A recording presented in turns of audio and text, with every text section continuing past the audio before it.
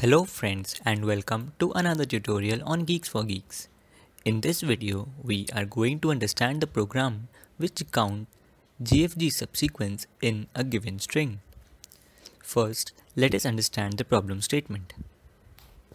Given a string of length n and of capital letters, the task is to find the count of GFG subsequence in the given string. Next, let us see the approach.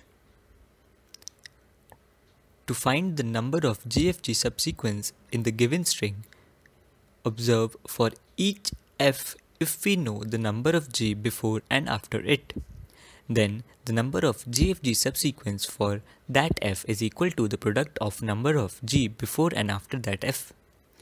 So the idea is to maintain an array where array of i store number of g before index i if ith index of the string is f and number f before index i if the ith string is g. Also, we will calculate and store the number of GFG subsequence in result whenever we encounter g. Next, let us see the algorithm. We take a sample string gfgfg and store its length in integer n. Then, we pass the string an integer n to count subsequence function.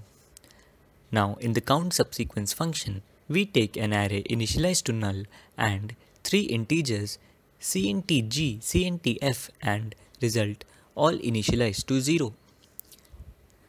Then we iterate over the string from i to n. So first i will be 0. s at i is g and we switch s of i. So the case G gets satisfied.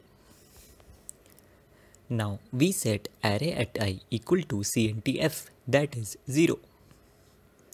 Then we add array at 0 to result. So result remains same and we increment CNTG++. Next we break and continue with the next iteration. So i becomes 1 and s of i is capital F. The second case that is f gets satisfied and we set array at 1 equal to cntg that is 1. Then we add array at i to cntf. So cntf will be 1. We continue iteration in the for loop and now i becomes 2 and s of i is g. s of i is g. So the first case gets satisfied and we set array at 2 to cntf. Then we add array at i to result.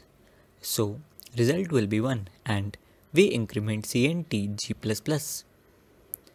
Next we break and continue with the iteration.